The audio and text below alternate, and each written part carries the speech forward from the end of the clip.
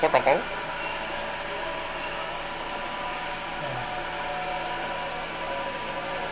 Thank you.